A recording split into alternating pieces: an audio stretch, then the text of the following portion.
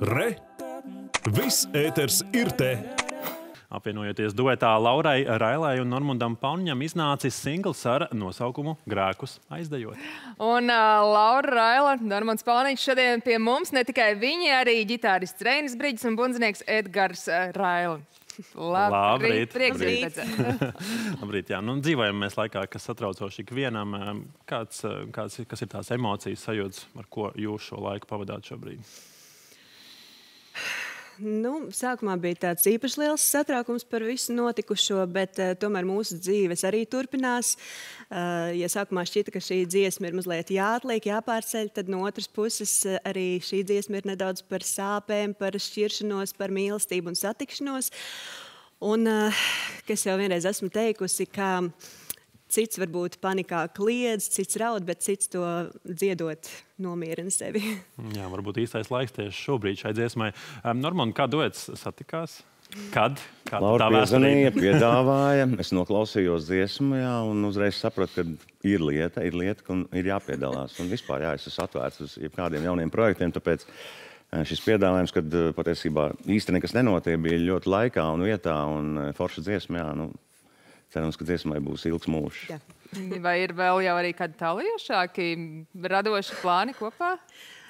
Pagaidām nē, Vai bet tas kas zina? Pirmais signāla eksemplārs, un tad jau skatīsies. Skatīsimies, kā iet. Skatāmies, kas tad sanācis. Dziesmas nosaukums Grēkus aizdejot. Nu, kas ir tas būtiskākais, ko šajā dziesmā vēlties teikt?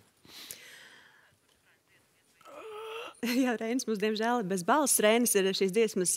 eh, Mēs abas pusēm uzrakstījām dziesmu, bet viņš ir teksta autors. Kā jau es teicu, dziesma ir eh, par šķiršanos, par varbūt nesaprašanos savā starpā, bet tāpat laikā uh, tu esi mana svētība vai sots. Es mīlu tevi, atzīstos. Nu, tā, ka tomēr tie cilvēki vēlas būt kopā. Jā, un um, kā jau minējāt, protams, šis ir tāds ļoti emocionāls laiks uh, ar daudz satraukumiem, bet, uh, kā jūs teicāt, uh, šis ir laiks, kad jūs dziedat, uh, tas ir jūsu izpausmes veids. Varbūt ir uh, bijusi arī doma, kā īpaši meklēt kontaktus ar ukraiņu māksliniekiem, varbūt kādu dziesmu ukrainiski iedziedāt. Uh, Jā, šis būtu interesanti. Eh, Varbūt es esmu mazliet citādāk caur dziesmu šo izpaudus. Es piedalījos Jūrmalā koncertā eh, atbalstam Ukrainai. Un, eh, jā, ir daži pazīstami no Ukrainas, un, godīgi sakot, man pat tagad šarmuļi skrien pāri rokām. Tas ir briesmīgi, kas notiek.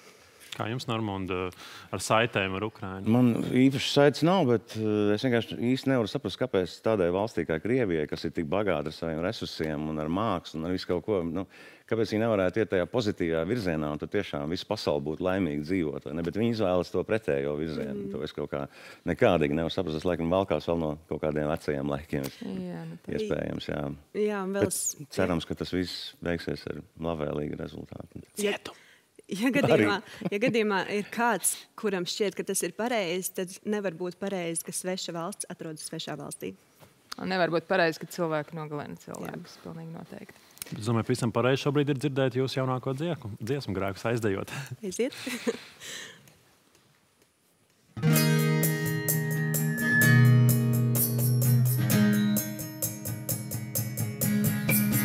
Apstājās upēs, izdeg bāku guns, neuzlēca saulē, tukšums ir starp mums. Mīglainas zvaigznes neieraugu vairs. Taurentiņu tejas pakrūtē tev gais. Bet vēl joprojām ceru ir uz šīs pasaules. Pirms ejam katrs savu ceļu mēs, līdz galam jāuzraksta tās pirms to dzēst. Vai, vai varam sāpes aizdejot?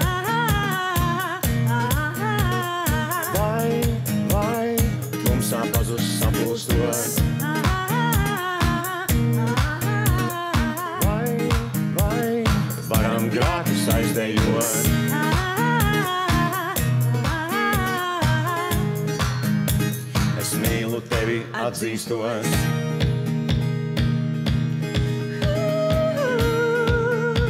Tu mana svētība vai sots.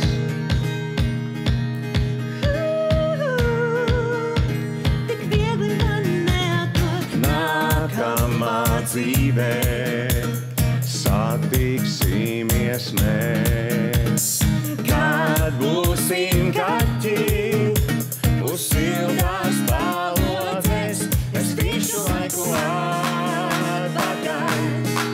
Dienu, kad tu piederēji man, un vēlēšos es tikai vienu to, to neiespējamo.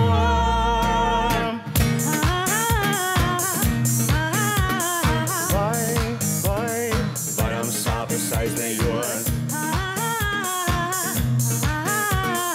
vai, vai, tumsā pazust sapulstot, vai,